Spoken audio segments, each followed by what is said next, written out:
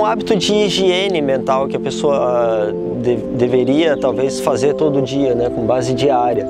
É uma forma da pessoa trabalhar áreas da pessoa dela, seja a parte emocional ou da personalidade, que ela ainda percebe que não está muito bem integrada no, no, no, todo da pessoa, né?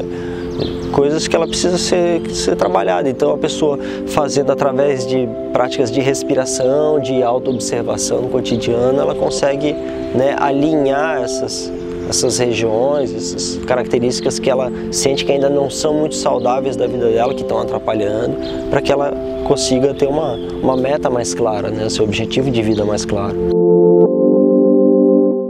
O fato das pessoas conviverem um pouco mais próximo à natureza faz elas já serem talvez intuitivamente mais receptivas a se conectar com o próprio corpo, que é a natureza, né? que é a mesma coisa. Né? Então acho que as pessoas aqui em Florianópolis elas estão um pouquinho mais mais conectadas, assim, eu diria com o biorritmo, né, com o ritmo do corpo, da natureza. Tanto é que aqui eu acho que é um, do, acho que é, é a cidade onde mais pratica-se atividade física, né.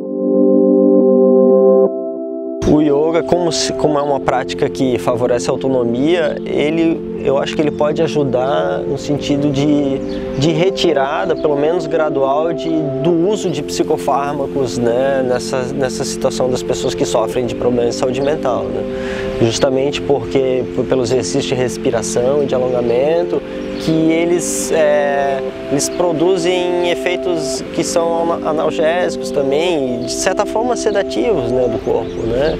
ansiolíticos. Né? O yoga é uma prática ansiolítica né? e a gente viu isso muito a partir da criação dos centros de atenção psicossocial, né? onde eles quiseram começar a, observar, a abordar esses, os problemas de saúde mental é, com, com, base mais na comunidade, né? que o centro seja inserido na comunidade, que a família te, tenha também uma responsabilidade ali com, a, com essa pessoa que sofre de problemas mentais.